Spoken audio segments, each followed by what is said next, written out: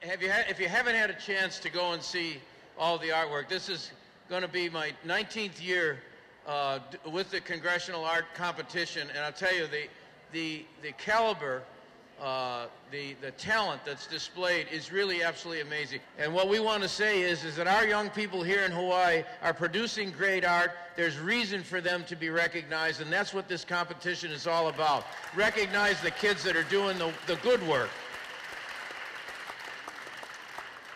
And of course, the winner will go to Washington, and, uh, and the teacher will go to Washington and meet with all of the other winners from across the country and, uh, and be able to uh, to exchange with one another. And the piece of art will be on display for the millions of people who will be coming to the Capitol over the next year. Not thousands or hundreds of thousands, but millions of people will see it.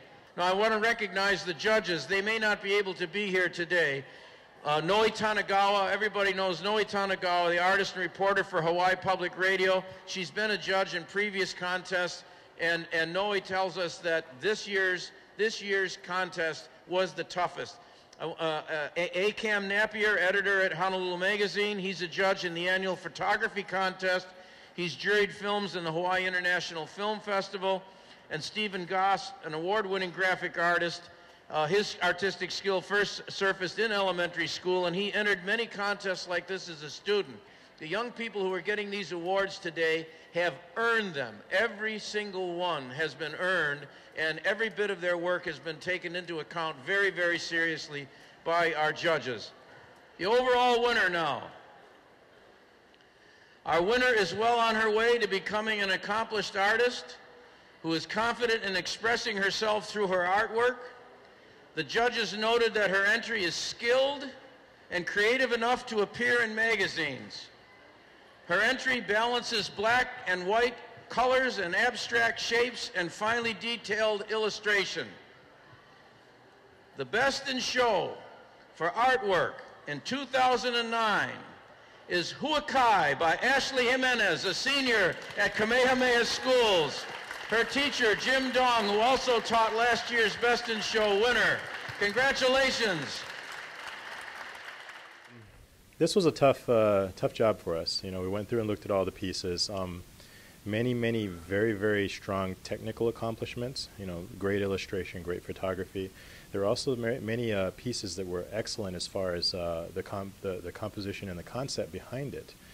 Um, this particular piece, however, managed to blend both of those very well. And of course, there was a nice little touch uh, relating back to Hawaii, very tribal in feel.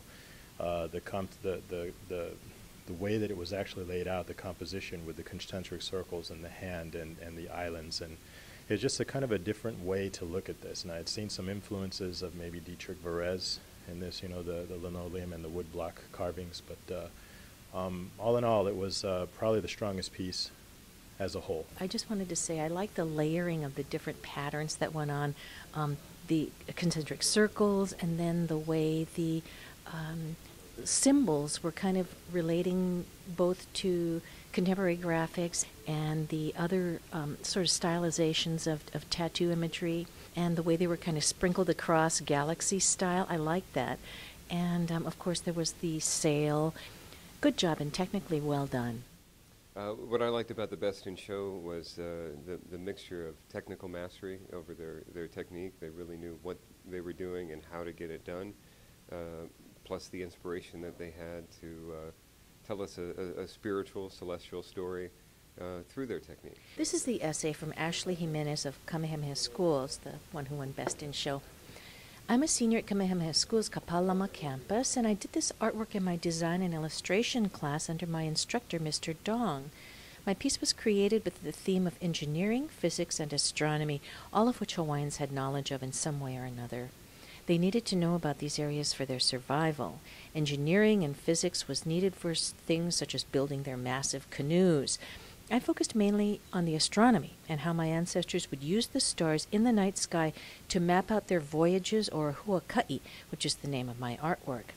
The canoe was their form of transportation across the oceans. There were no GPS or airplanes, so their maps were all in their memory and in the stars. Incorporating a hint of something Hawaiian in all of my art is something I love to do, and this was the perfect opportunity to portray my background. I am Hawaiian, and I represent my culture with everything I speak, think, and do. There's a lot more to know about my culture, and art is something that is keeping it alive for us and for the future children of Hawaii. That was Ashlee Jimenez's statement to accompany her artwork, Huaka'i.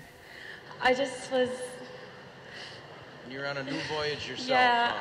graduating high school, and I'm just excited that um, thank you, Mr. Dong, and my parents, and this Mr. Abercrombie. Thank you. I like that last part. Thank you very much, Ashlee. How she's on a new voyage herself. Big hand for Ashlee.